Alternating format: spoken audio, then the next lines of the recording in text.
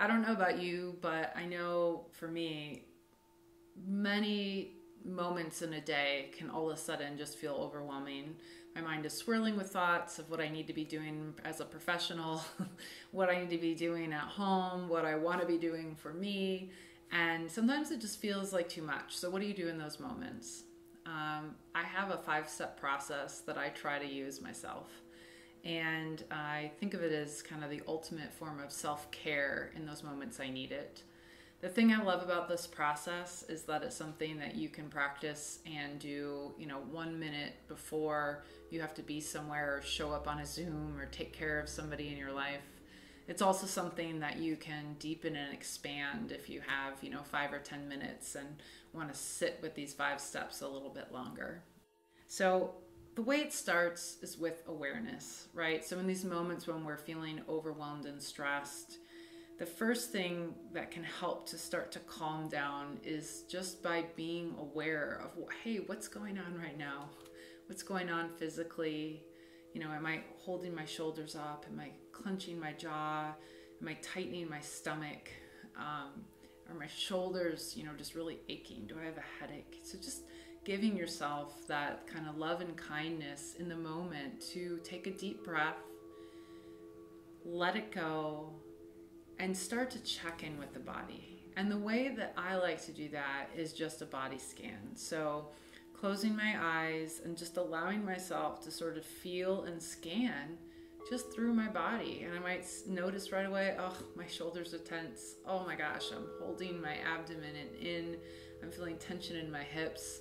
Wow, I've been sitting for an hour and a half and I haven't gotten up. And so you start to pay attention to where that tightness is and where it's held in the body. The next step can be kind of hard if you're not practiced at this, but I promise that there's a great reason for it, and the more you do it, it gets better.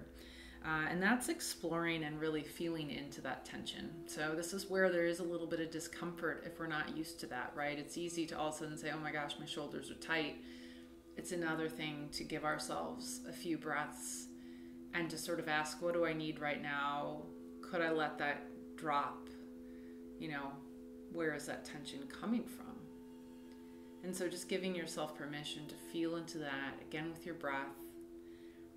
And the third step comes in with recognition. So sometimes in different practices, it's helpful to put a label on things.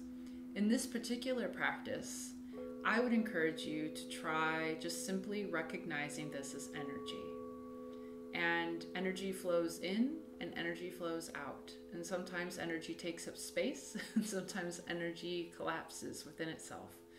So, as you explore this tension, this stuckness, this feeling in the body you want to move, just simply recognizing it as energy and that it is there present.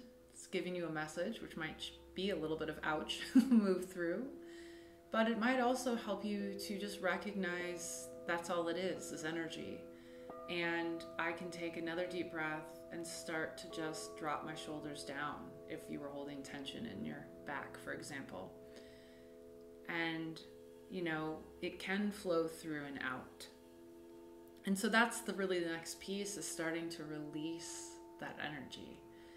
And as you're noticing, I'm cueing the breath a lot because the breath is an amazing tool that we're using all of the time that can help to expand tension and as we exhale out, just naturally release. It's what the body does all day.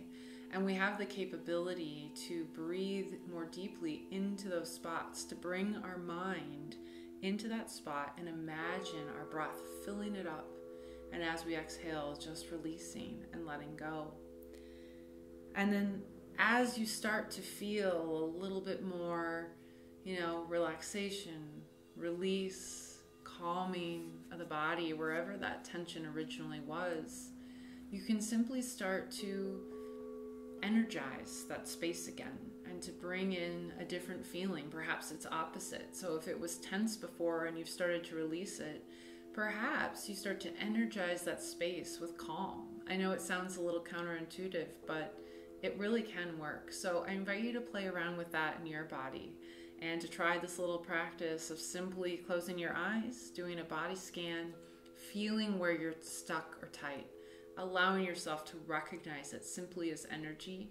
Begin to use your breath to release it. And then finally, bring in the opposite and allow yourself to have a different shift in your energy from tension to something that feels good and supportive to you.